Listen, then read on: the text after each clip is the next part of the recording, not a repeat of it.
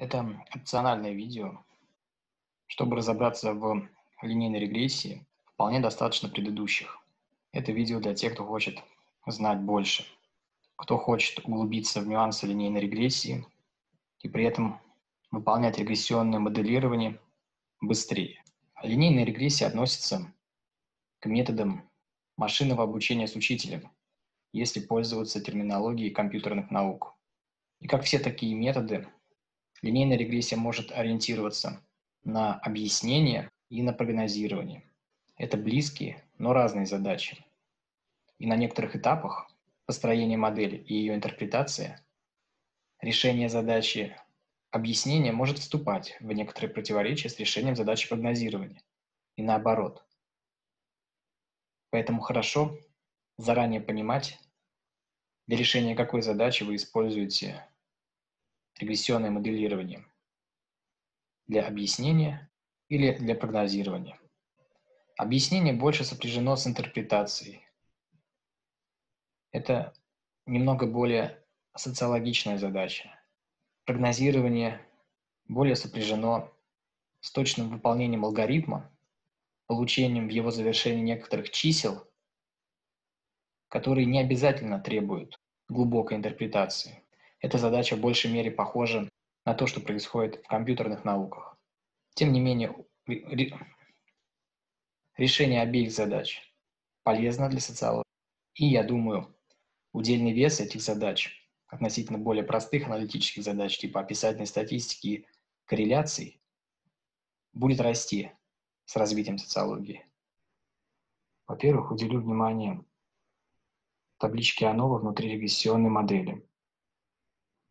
ANOVA – Analysis of Variance, или по-русски дисперсионный анализ. Суть ANOVA – посмотреть, что происходит с дисперсией Y, когда к Y добавляются некоторые X. X пытаются объяснить вариацию Y. Если у них это получилось, то вся вариация Y, которая находится строчки total дублируется в верхней строчке, строчке regression. И тогда на строчку residual ничего не остается. Ноль. И тогда строчку regression делим на строчку total и получаем единицу. Это и будет единичный r квадрат. В нашем случае r квадрат не единичный. В нашем случае примерно две трети общей дисперсии Y расположились в строчке regression, и примерно одна треть расположилась в строчке residual.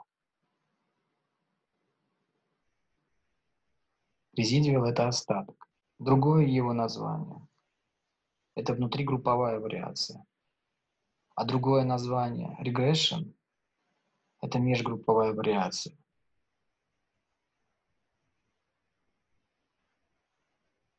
Сейчас покажу, как внутригрупповая и межгрупповая вариации выглядят на графике. Сначала обращаюсь к уже построенному графику. Это график с условными средними. Напомню, что такое условные средние. Например, в данном случае. У всех фильмов, получивших 800 рецензий критиков, в среднем 500 тысяч оценок пользователей на сайте MDB. Есть ли на этом графике межгрупповая вариация? Да, она есть здесь. Почему? Потому что условные средние расположены на разных уровнях по оси Y. Если бы все условные средние расположились на одном уровне, на какой-то горизонтальной линии, то межгрупповой вариации не было бы. Другими словами, при любом количестве рецензий критиков количество пользователей, поставивших оценку, было бы одним и тем же. Не менялось бы. Это самая плохая ситуация. В этой ситуации r квадрат был бы равен нулю. В этой ситуации вся вариация y продублировалась бы в строчке residual, а в строчке regression стоял бы 0. Но, как увидеть, на графике residual добавить на график для каждой условной средней стандартные отклонения. Графс, чат-билдер, количество рецензий критиков на оси X, количество пользователей, поставивших оценку на оси Y, статистик, min, display, error bar, standard deviation, multiplier 1. Применяю, запускаю. Теперь на графике с условными средними видны еще и стандартные отклонения. Например, здесь. О чем они говорят? Фильмы с 500 рецензиями критиков в среднем имеют миллион оценок пользователей. Но среди этих фильмов есть те, у которых больше оценок пользователей и меньше, но в среднем миллион. Чем длиннее отросток, тем больше внутригрупповая вариация для данной группы. Для группы фильмов с 500 рецензиями критиков. Большая внутригрупповая вариация – это плохо. Отсутствие внутригрупповой вариации – это идеально. Например, это условное среднее имеет коротенькие отростки, то есть маленькая внутригрупповая вариация. Для фильмов, находящихся близко к нулю, тоже очень маленькая внутригрупповая вариация. Затем она начинает увеличиваться. Примерно в этой области она достигает больших значений, затем она уменьшается. Это к вопросу о гомоскедастичности. Предположим, что все отростки на графике были бы маленькие. Ну, например, как у фильмов, близких к нулю по количеству пользователей, поставивших оценку. Гарантировало бы это, что r квадрат равен единице? Нет. Коротенькие отростки – это необходимое условие, чтобы r квадрат был равен единице, но недостаточно. Второе условие, чтобы все условные средние лежали на прямой линии. Можно предположить, что где-то здесь проходит прямая линия. В этой области точки лежат близко к прямой линии, а в этой области точки лежат далеко от прямой линии. Получается, что идеальная для регрессионного моделирования ситуация характеризуется, во-первых, короткими отростками для всех условных средних и расположение всех условных средних на прямой линии.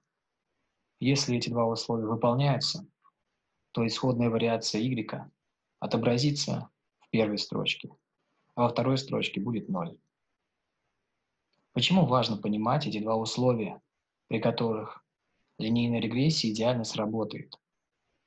Потому что под одно из этих условий регрессионную модель с имеющимися иксами можно подстроить, а под другое условие ее нельзя подстроить.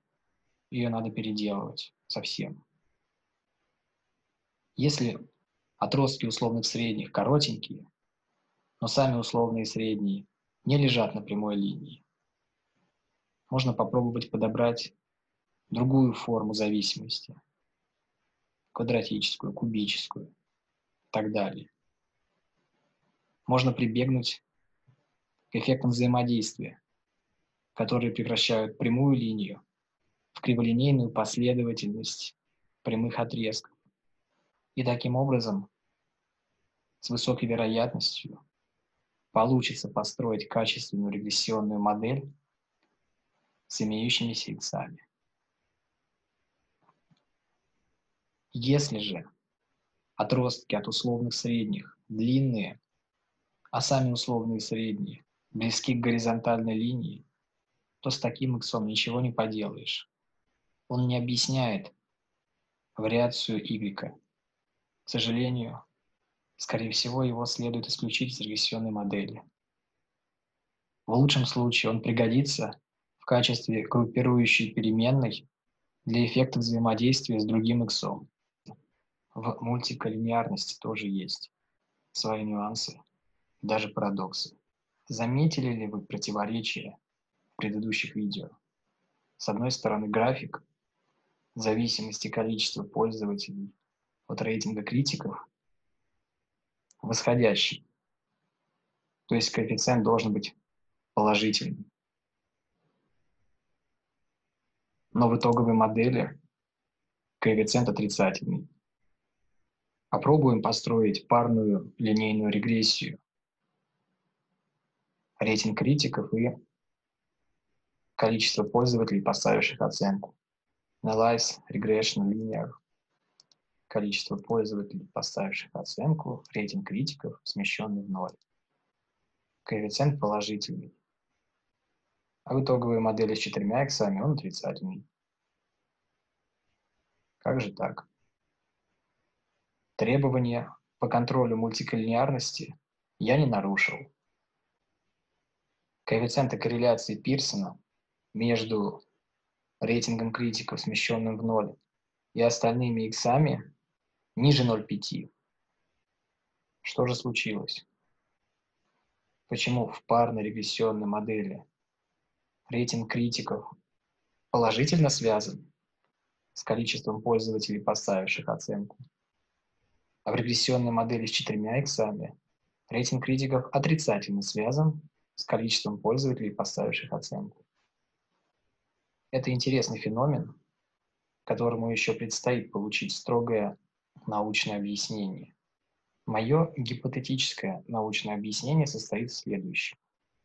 Если коэффициент корреляции Пирсона между некоторым x, например, рейтингом критиков, и y, то есть количеством пользователей, поставивших оценку, меньше, чем коэффициент корреляции этого x с другими x, в данном случае с двумя иксами, это ведет к серьезному искажению регрессионного коэффициента при этом иксе. То есть я утверждаю, что этот регрессионный коэффициент сильно искажен по сравнению с его истинным значением в силу относительной мультиколлинеарности. Я предлагаю ввести термин «относительная мультиколлинеарность». Относительная мультиколлинеарность – это такая ситуация, когда некоторый x сильнее связан с другими иксами, чем с y. Если регрессионная модель построена для решения задачи прогнозирования, то такое искажение регрессионного коэффициента в силу относительной мультиколлинеарности не составляет большой проблемы поскольку предсказанные значения оказываются более точными при наличии этого x в модели, чем если его исключить из модели. Но если я решаю задачу объяснения в большей мере, чем прогнозирование, тогда моя интерпретация окажется не вполне верна, поскольку я проинтерпретирую этот x как отрицательно влияющий на y. А это не вполне верно. А что если построить 4 регрессионных модели с каждым из четырех иксов?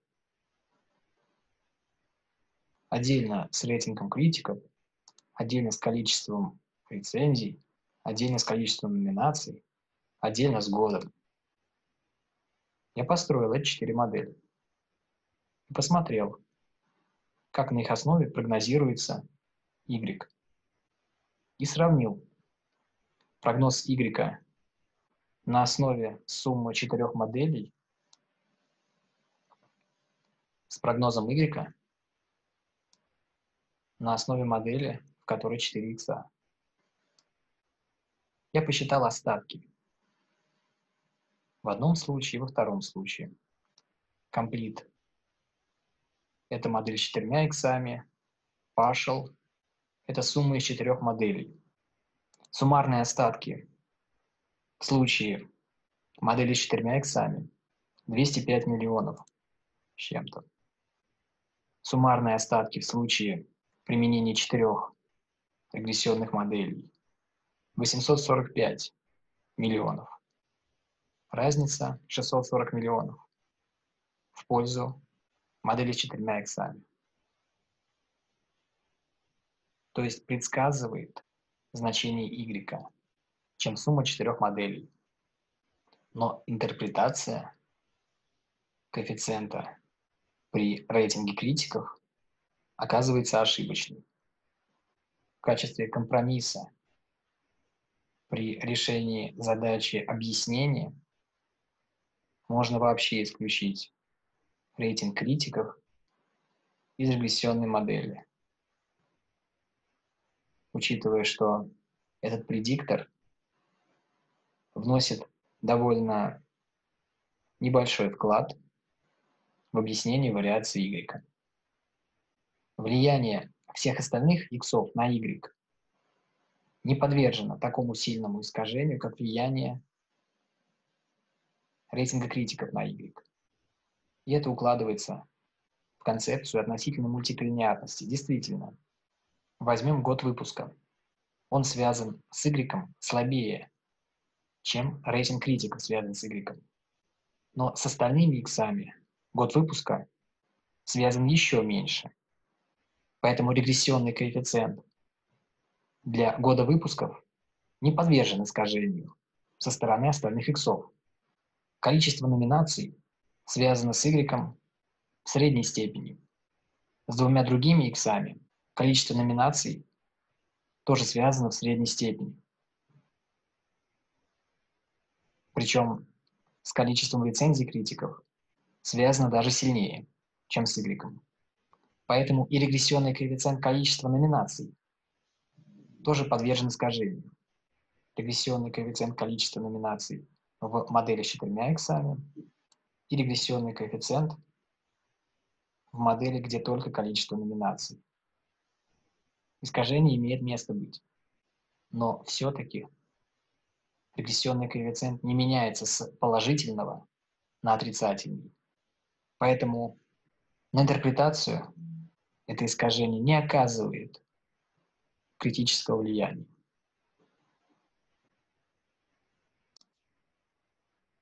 В одном из предыдущих видео я создал из континуальной переменной год выпуска фильма фиктивные переменные. Я это сделал, чтобы лучше отразить зависимость количества пользователей, поставивших оценку от года выпуска. И построил такую ломаную линию вместо простенькой прямой линии. В SPSS нельзя на одной координатной плоскости расположить сразу много графиков, поэтому пришлось прибегать к Excel. Еще раз о том, как эти линии были построены. Первый столбик соответствует прямой линии. Переменная год выпуска, смещенная в 0, закодирована кодами от 0 до 10. 0 соответствует 2007 году, 1 2008 году, 10 соответствует 2017 году. В исходной переменной год выпуска, смещенный в 0, 2007 год закодирован нулем, 2008 год единицей, 2009 двойкой и так далее, 2017 закодирован десяткой. В регрессионной модели, в которой участвуют 4 икса, в том числе континуальная переменная год выпуска, смещенная в ноль, регрессионный коэффициент при этой переменной минус 2492. Следовательно, если речь идет о фильме 2007 года выпуска, то я умножаю минус 2492 на 0. Именно это я и отобразил в столбце, относящемся к прямой линии. 0 умножить на минус 2492 – это 0. 1 умножить на минус 2492 – это 1. 2 умножить на минус 2492 – это минус 4985 и так далее. И эти данные легли в основу прямой линии. Ну, просто выделить и вставить график. В случае же ломаной линии я разместил в этом столбце коэффициенты, взятые из регрессионной модели с фиктивными переменными. Получается, что с точки зрения решения задачи объяснения, ломаная линия гораздо лучше. Она точнее отражает изучаемую закономерность. Она позволяет выдвигать новые гипотезы. У нее только один недостаток. Ее невозможно экстраполировать на другие годы. На 18, 19, 20, 30, 40 и так далее. А простенькая прямая линия легко экстраполируется. Вот где-то здесь находится точка для 2020 года. Ориентируясь на кодировку переменный год выпуска, смещенный в ноль, если 2007 год имеет код 0, то 2020 год имеет код 13. Я могу умножить регрессионный коэффициент из исходной модели на 13 и получаю минус 32 406. Очень легко экстраполировать, потому что линейная функция очень проста. Экстраполировать можно и любую другую математическую функцию. А построенную на основе фиктивных переменных ломаную линию экстраполировать затруднительно. Получается, и в этом примере задача объяснения и задача прогнозирования пришли в некоторое противоречие. Если все же фиктивные переменные требуются, причем фиктивных переменных предполагается много, как ускорить процесс? Логика следующая. Обычно фиктивные переменные создаются посредством перекодировки в другие значения. Беру год выпуска, смещенный в ноль, придумаю новое имя,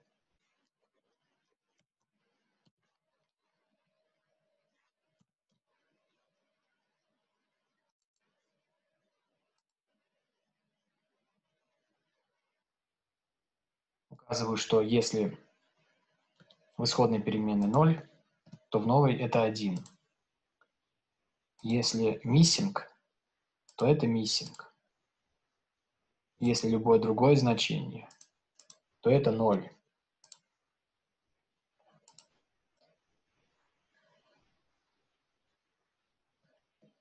Дальше вместо кнопки ОК нажимаю кнопку Paste, и этот код вводится в синтаксе. Нужны эти две строчки. Можно откопировать их нужное количество раз, например, три раза, и поменять. Если в исходной переменной единичка, то она в единичку. Если в исходной переменной двойка, то она в единичку. И это будет новая переменная 2007.1, новая переменная 2007.2. Выделяю эти четыре строчки запускаю, и появляются три новые фиктивные переменные. Главное не запутаться и не забыть поменять здесь и здесь. Есть немного другой путь с привлечением excel файла. В поисковике можно ввести слово «дихотомизатор» найти страницу моего сайта, прокрутить вниз, найти зелененький прямоугольник, дихотомизатор, скачать этот excel файл. Сверху синеньким я вписал инструкции. Здесь все очень просто. Этот файл позволяет создать до 31 фиктивной переменной из одной исходной. Надо заполнить три области. Во-первых, имя исходной переменной. Чтобы не ошибиться, лучше скопировать из файла с данными. Year 2007. Сюда надо вставить частотную табличку, в которой указаны сами коды, или по-английски values.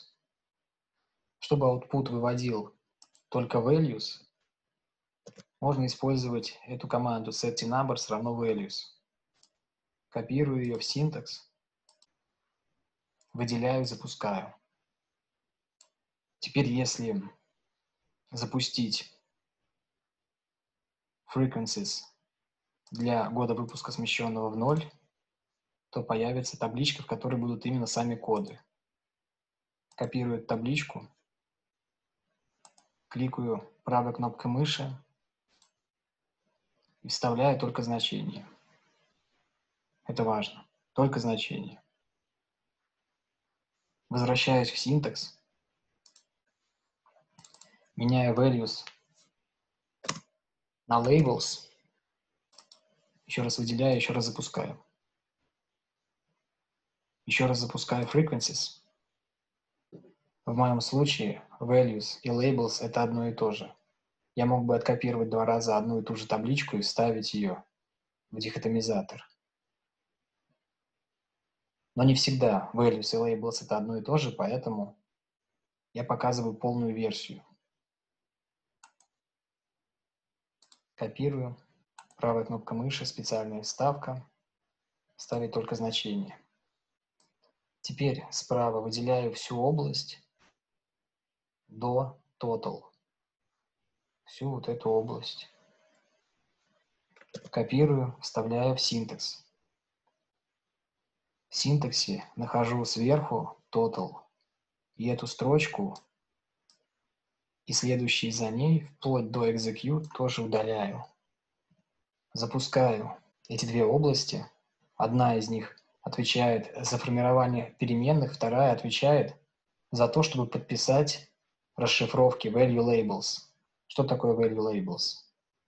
Напоминаю, value labels – полезная вещь, позволяет не забыть, что значит тот или иной код. Получается, если аккуратно и правильно воспользоваться дихотомизатором, то быстро и без ошибок создаются фиктивные переменные, большое количество фиктивных переменных. И сразу автоматически подписываются их value labels. И, наконец, нюансы создания и интерпретации эффектов взаимодействия. Работа с эффектами взаимодействия трудоемка. Поэтому хорошо бы заранее понять, нужны ли они. Есть две причины создания эффектов взаимодействия. Первое. Если теоретическая рамка вашего исследования или ваш здравый смысл подсказывает вам, что некоторые переменные может модерировать влияние других иксов на y. Часто контрольные переменные стоит рассматривать в качестве модераторов и вставлять их в регрессионную модель как группирующие переменные в эффектах взаимодействия. Вторая причина. Вы хотите получить более точную регрессионную модель. То есть причины бывают содержательные и математические. И часто они друг друга взаимодополняют. В SPSS есть возможность узнать, стоит ли добавлять эффекты взаимодействия в модель, или стоит ограничиться только главными эффектами, то есть не перемножать иксы. Допустим, я хочу узнать, стоит ли добавлять в модель эффекты взаимодействия, в которой группирующей переменной выступит год выпуска. Analyze, General Linear Model, Univariate. Группирующая переменная должна расположиться в окошке Fixed Factors. Зависимая переменная, количество пользователей, поставивших оценку в окошке Dependent Variable. И остальные три икса в окошке Coverates. Дальше нажимаю кнопку Model, выбираю Custom вставляю главные эффекты и создаю парные эффекты. Year на метасcore. Year нам true. Year nominations. Запускаю. Обращаюсь к табличке Tests of Between Subjects Effects. Нахожу здесь эффекты взаимодействия они представлены в сгруппированном виде. Все эффекты взаимодействия, в которых участвуют фиктивные переменные соответствующие году выпуска, сгруппированы по континуальному x. То есть три группы. Каждая из этих групп значима.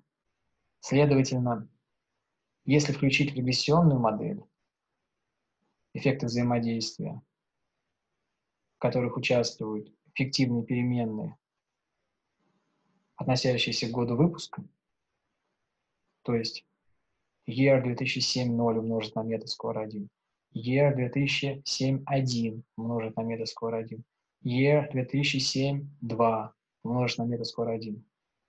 Итак, 33 эффекта взаимодействия в регрессионной модели. Многие из них будут значимы, если ориентироваться на результаты дисперсионного анализа. Кроме того, r квадрат такой модели будет примерно 0,678. А я напомню, что в исходной модели, в которой представлены только главные эффекты, то есть иксы без перемножения, r квадрат равен 0,628. Получается, при переходе от модели с главными эффектами к модели в которой есть и главные эффекты, и эффекты взаимодействия, r квадрат вырос на 5 процентных пунктов. Мне кажется, это не маленький рост. Поэтому, как ни крути, есть смысл включить модель эти эффекты взаимодействия и поработать с такой регрессионной моделью, хоть это и требует времени. Бывает полезным еще до создания эффектов взаимодействия посмотреть, как работает группирующие переменные. В моем примере это год выпуска. Особенно это полезно, если предстоит демонстрация результатов какой-то аудитории. Чтобы это сделать, следует расщепить выборку на подвыборки, чтобы каждому году соответствовала своя подвыборка. Для этого я нажимаю Data, Split File, Выбираю переменную, которая будет группирующей. В моем случае это год выпуска, смещенный в ноль. Выбираю Compare Groups и помещаю год выпуска в окошко справа. Запускаю. Теперь строю регрессионные модели Analyze, Regression, Linear, в которых зависимые переменные – это количество пользователей, поставивших оценку, а иксами выступают остальные иксы, континуальные иксы. То есть все иксы из исходной модели, кроме года выпуска. А именно рейтинг критика, смещенный в ноль, количество рецензий критиков и количество номинаций. Запускаю. Большая табличка с коэффициентами, для каждого года своя табличка. Чтобы в ней было легче ориентироваться, я перенес ее в excel файл и сгруппировал в такую компактную таблицу которой видно, в которой видно, как для генеральной совокупности менялась константа по годам, рейтинг критиков, количество рецензий, количество номинаций. А справа я выставил константу и коэффициенты из исходной модели, которая не была разбита по годам выпуска. Видно, что константа во все годы, кроме 2007 в генеральной совокупности равна нулю. Метаскор, наоборот, в 2007 году равен нулю в генеральной совокупности. Затем уходит все глубже в минус, потом поднимается, оставаясь в минусе, и снова уходит в минус. Количество рецензий критиков влияет постоянно положительно, но сначала сильнее, потом несколько слабее. Влияние количества номинаций сначала усиливается, в 2011 году вообще нулевое в генеральной совокупности, затем снова усиливается, затем снова падает. Очень любопытные изменения. Чтобы визуально все это отобразить, я взял значение каждого из иксов из базы. Вот какие значения в базе встречаются, все их сюда поместил и отсортировал по возрастанию. И умножил эти значения на коэффициенты, соответствующие каждому году. И растянул. Это график, соответствующий коэффициенту из общей модели. А здесь графики, соответствующие коэффициентам в разные годы. То же самое я сделал для NumCrit.ru и для Nominations. И напоминаю, что это закругление не соответствует действительности и вызвано ошибочным отображением в Excel промежутков разной величины, как одинаковых. Разный наклон прямых в разные годы. Тоже разный наклон прямых в разные годы. Как быстро и без ошибок создать эффекты взаимодействия, пользуясь синтаксом и Excel.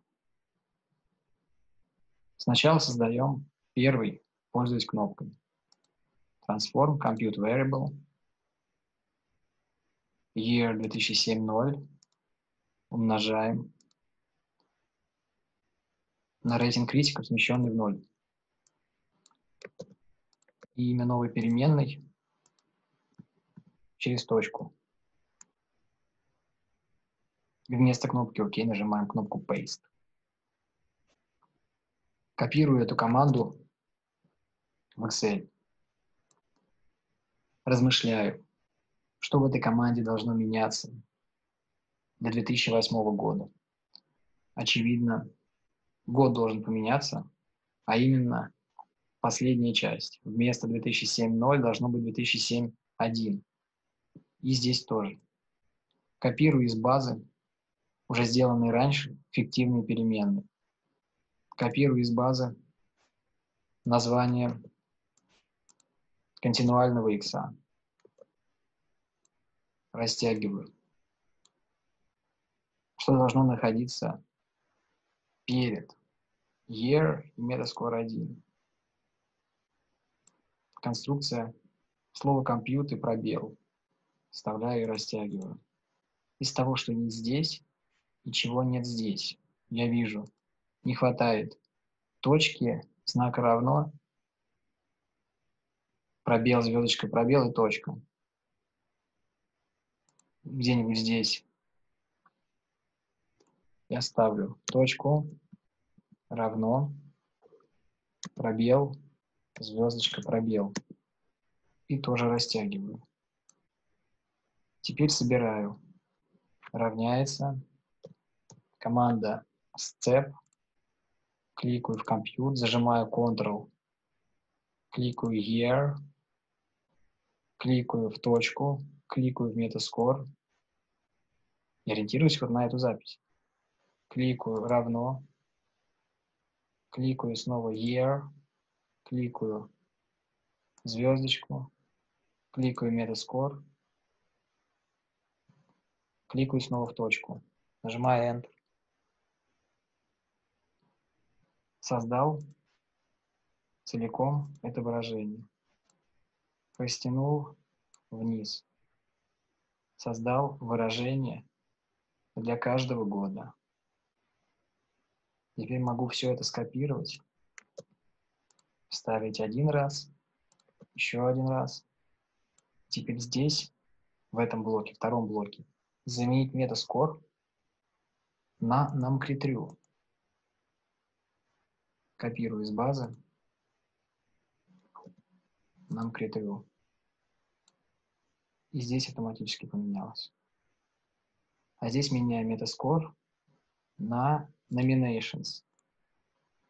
Копирую из базы.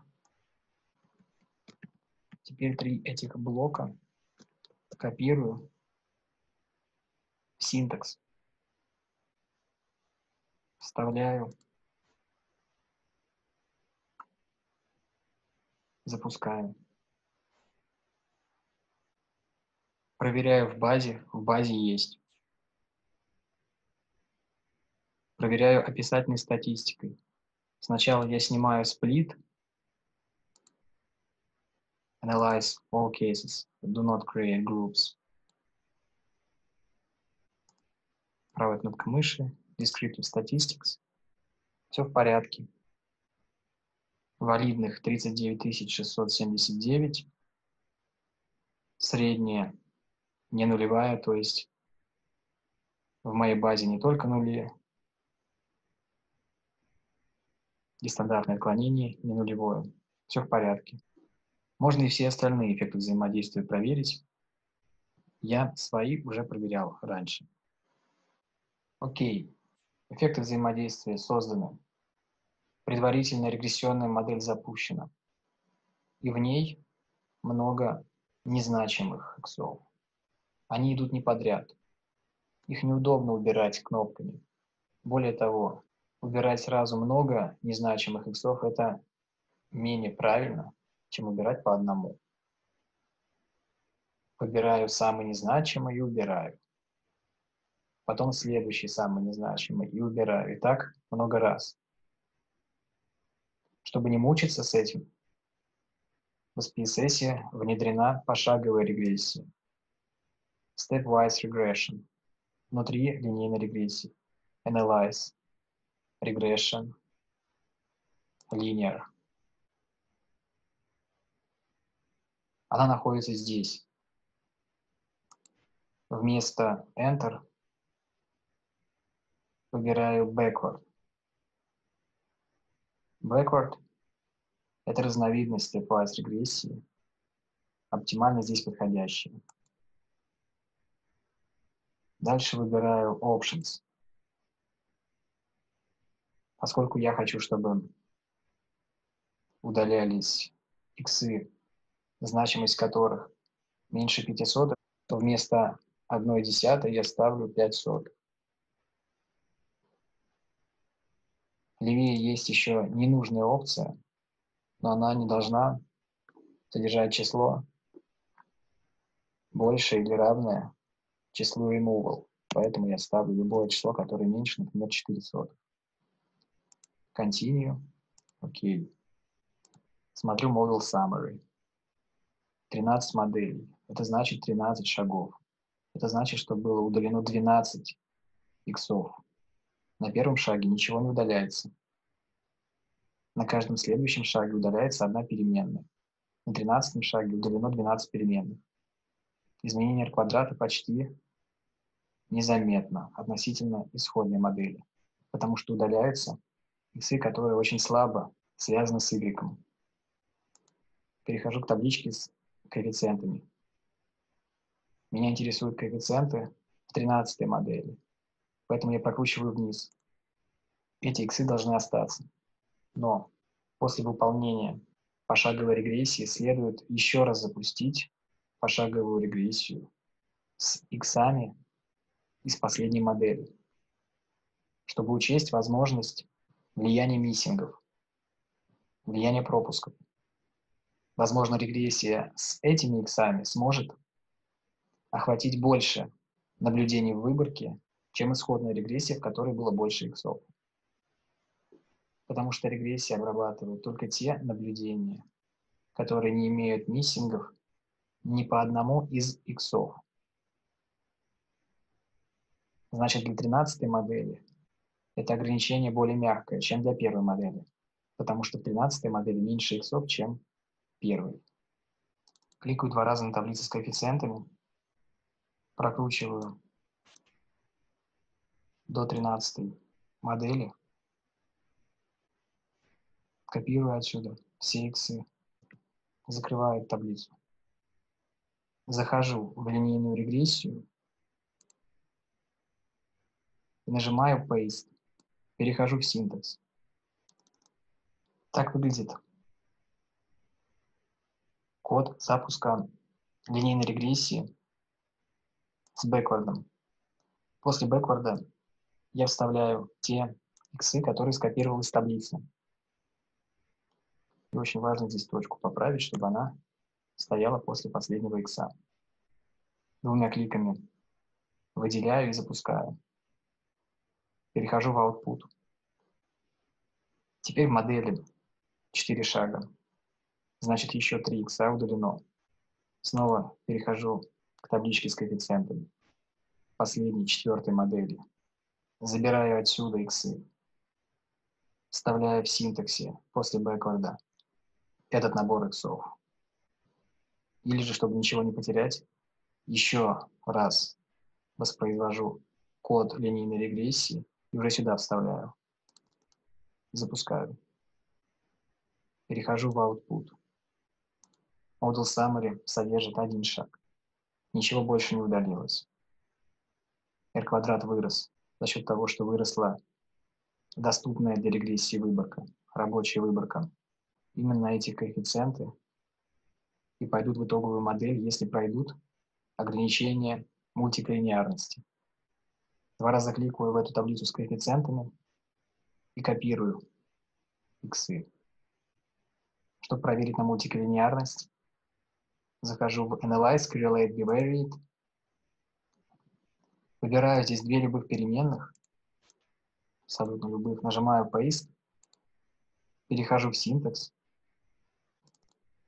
после команды Variables я вставляю иксы, скопированы из таблички с коэффициентами. Также вставляю сюда зависимую переменную. Запускаю. Большая табличка с коэффициентами корреляции. Переношу ее в Excel.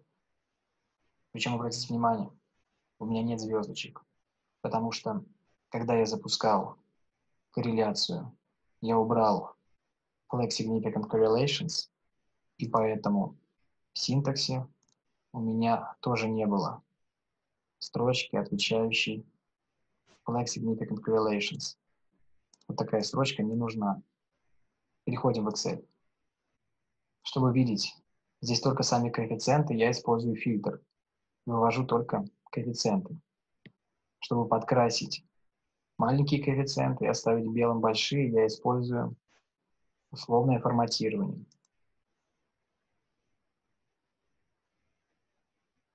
Минус 0,75, плюс 0,75. Сложность ситуации в том, что здесь тройные корреляции.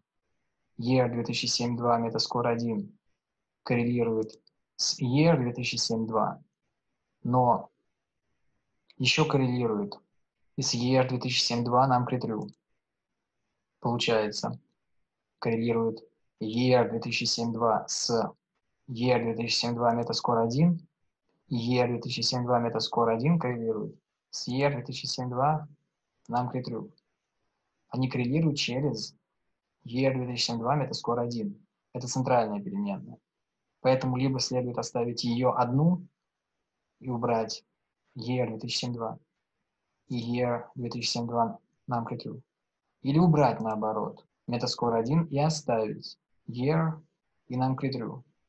Поскольку year и нам true в сумме дают большую корреляцию с y, чем сам по себе метаскор, поэтому я убираю метаскор и оставляю year и нам true.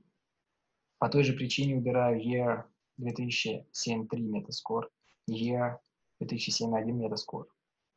Они коррелируют меньше с y. Также выбираю Year 2007-6, который коррелирует с Year 2007-6 Metascore 1, потому что Year 2007-6 Metascore 1 дает больше коэффициент, чем сам по себе Year 2007-6 с Y. И по той же причине выбираю Year 2007-7. Коррелировали вот эти переменные 12, удалил 5 и тем самым решил вопрос сильной скоррелированности.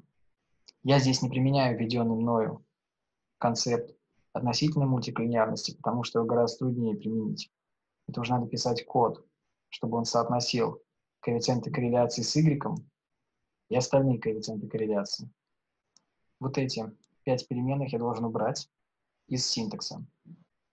Это код для регрессии. До того, как я корреляцию построил, я его копирую, вставляю под корреляцию, убираю из него 5 переменных, и поскольку это последний запуск, внизу я убираю точку после последнего икса и добавляю команду save с resid, чтобы получить стандартизованные остатки. Запускаем. Что было дальше, вы уже знаете из предыдущих видео. Осталось откомментировать еще запуск General Linear Model UniAnova. Я беру отсюда иксы, запускаю UniAnova Analyze, General Linear Model, Univariate. Зависимые переменные – это стандартизованные остатки. Одну любую переменную помещаю в fixed factors, и одну любую помещаю в covariate. Нажимаю Model, выбираю Custom, помещаю в качестве Main Effects. Направо, Continue и нажимаю Paste. В чем особенность синтакса юниановы? Это зависимые переменные остатки. После by до with идут fixed factors. После with идут ковариаты. И после дизайн идут просто подряд через пробел все иксы.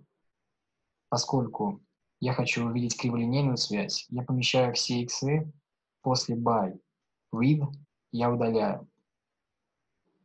И в дизайн помещаю все иксы. Ставлю точку после последнего и запускаю. И обрабатывается это около часа или дольше. Если вы запустили, но не хотите ждать, попробуйте нажать слева сверху кнопку «Файл», «Стоп процессор». Скорее всего, в течение минуты процессор остановится. И вместо «Running» Юнианова вы увидите Processor is ready. Спасибо, что вы так неравнодушны к анализу данных и досмотрели серию про линейную регрессию до конца.